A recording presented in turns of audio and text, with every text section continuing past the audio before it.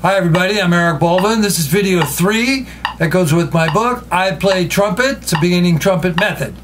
And this is the rhythm workout. Very simple, very quick demonstration of how to do the rhythm workout.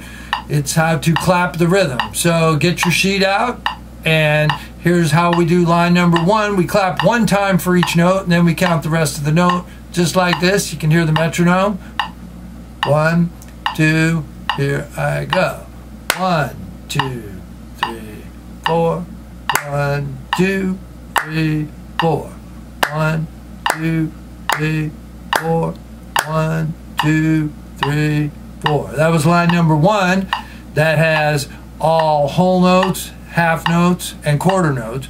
Now I'll go down to line seven and show you how to do eighth notes. Here we go. Ready? Yeah. One, two, three, and four. One, two, three, and four. One, two, three, and four. One, and two, and three, four.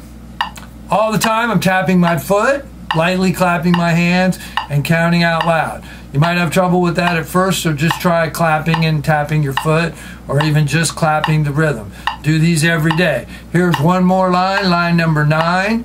This has the dotted quarter note in it. All right, here I go. Ready, go. One, two, three, four. One, two, and three, four. One, two, three, four.